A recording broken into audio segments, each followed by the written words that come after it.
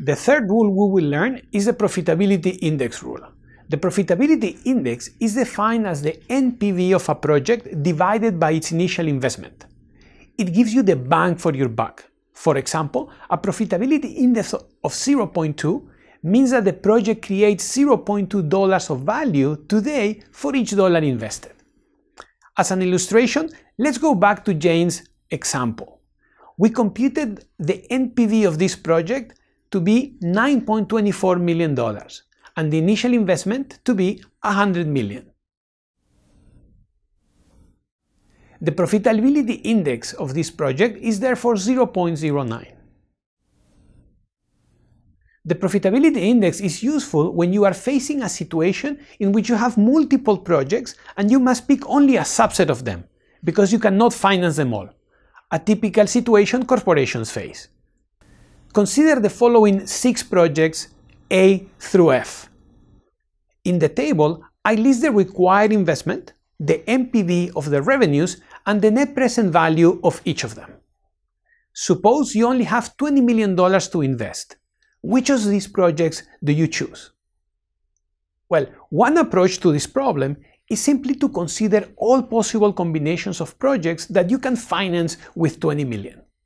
For example, one combination is projects A, B, and C, the total investment for these three projects is 5 plus 10 plus 4 or 19, which is below the budget of 20 million.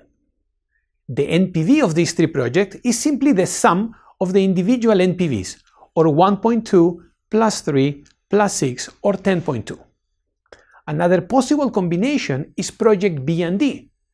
The total investment is 18 million and the combined NPV is 11. So the second set of projects is better than the first. You can keep going and consider all possible combinations. However, this is tedious and can take a very long time. Alternatively, you can use the profitability index. To do this, first compute the profitability index of each of the projects. Then, sort projects from the one with the highest profitability index to the one with the lowest profitability index we first pick projects with the highest profitability index, that is Project F. This requires an investment of 2 million. We have additional funds to invest in other projects. Now, pick the next project in the table, that is Project C.